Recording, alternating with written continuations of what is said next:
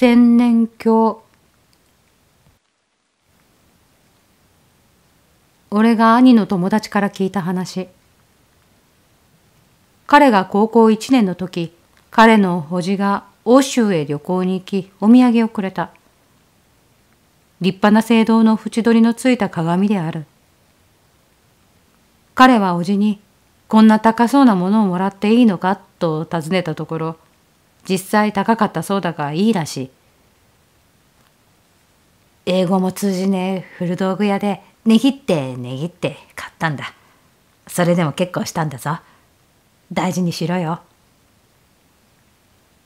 どうしてそこまでしてこれをと彼は思ったが礼を言って鏡を部屋の机の上に置いた。その日の晩部屋の中で誰かが喋っている気がして彼は目を覚ました。最初は夢かと思ったらしいがどうやら話し声は実際にしているようだ机の方から小さい談笑するような声が聞こえる。あ、鏡だ。直感で彼はそう思ったらしい。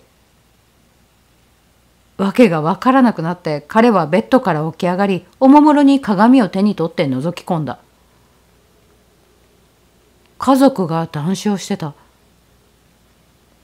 父親らしき男、母親らしき女、娘らしき少女の三人が深緑のソファーに腰掛けて談笑していた。三人とも顔立ちは日本人ではなく西洋人のようで、髪の色も薄い。そしてお金持ちのようだ。使用人らしき人物がちらちらと映っている。これはすごい。すごいものをおじさんはくれた。そう思い、彼は開花で寝ている両親に鏡を見せようと両親のもとへ向かった。階段に差し掛かった時に激しい衝撃音が鳴った。驚いた彼がまた鏡を覗き込むと三人の男が鏡の中央に映っていた。三人とも体格が良く武器を持っている。軍人のようだ。三人はこちらに背を向けているため顔はわからない。そしてその向こう側に身を寄せ合って怯える先ほどの家族がいる。一瞬少女と目が合った気がした。そして真ん中の男が何かを叫び、右腕を上げると、左側にいた男が斧のようなもので父親の頭を叩き割った。飛び散る血。泣き叫ぶ娘。気を失う母親。そこからはもう地獄絵図だった。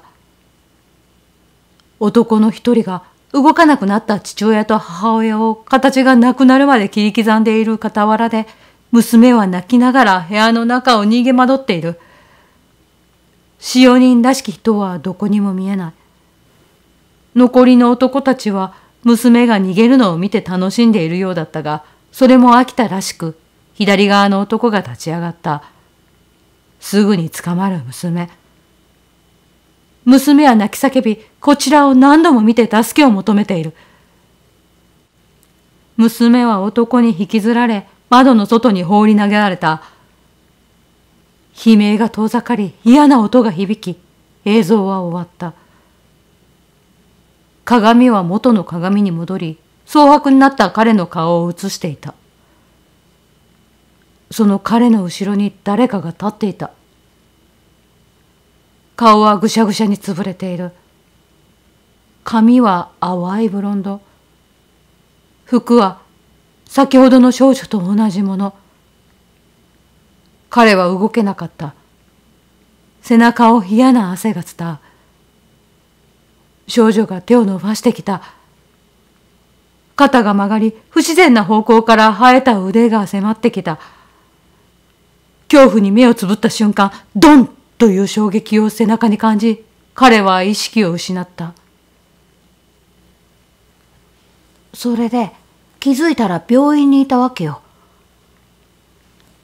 すごい音がしたんで、驚いた両親が階段を見に行くと、彼が階段の下で倒れていたとのこと。鏡は粉々に割れてて、その破片で額と腕を切り、彼は二針と三針を縫う怪我をした。また階段から落ちたせいであばらを骨折していた。ありえないだろ見ろよこの傷。あの後例のおじがお見舞いに来たから文句言ってやったよ。そしたら何つったと思う？あれは超有名な宗教戦争の時の鏡だ。すっごいレアなんだぞ。だってさ。普通謝るだろ？まあ、すごいもん見れたと思うけどね。ん？ああ、おじも鏡は見たんじゃないかな。なんか知ってる風だったし。それで俺に譲ってくれたんだと思うよ。でもさ、宗教とか理不尽な理由で殺される時代じゃなくって本当によかった。そう言って彼は悲しそうな顔をした。